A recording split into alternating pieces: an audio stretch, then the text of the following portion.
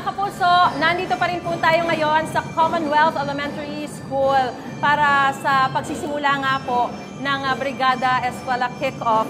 At ah, inaasahan niya na mangyayari ilang sandali na lamang mula ngayon. At narito ako sa loob ng isa sa mga silid-aralan o classroom kung saan ito ay magiging subject ng kanilang Brigada Eskwela. Dahil layon po ng Brigada Eskwela na ihanda ang lahat ng mga eskwelahan o mga paaralan bago nga ang ah, pagsisimula ng ah, pasukan.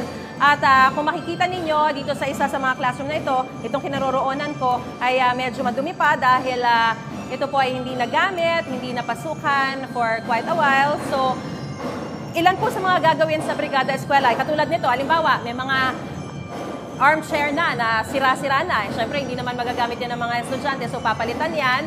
At pagkatapos, yung ilang mga dingding na hindi na maliwalas ay ah, pipinturahan, lilinisin dahil punong-puno na ng alikabok. At yung ilang mga gamit dito na noong last school year pa nagamit ay isusort out para maging malinis at maayos, ligtas para sa lahat ng mga estudyante. In a short while din, magsisimula na yung motorcade ng ah, Brigada Eskwela. Iikot yan sa IBP Road, papuntang Ka- Katuparan, pabalik ng Kaularan, pabalik dito sa eskwelahan. Basically, ang sinasabi lang niyan ay open na for enrollment itong ah, mga paaralan sa Quezon City. So, maaari na po mag-enroll yung mga hindi pa nag-enroll at pati na rin yung mga transferees.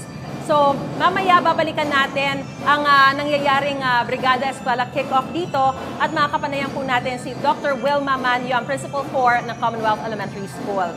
Igan, mauna ka sa mga balita. Mag-subscribe sa GMA Integrated News sa YouTube sa mga kapuso abroad. Subaybayan nyo kami sa GMA Pinoy TV at sa www.gmanews.tv.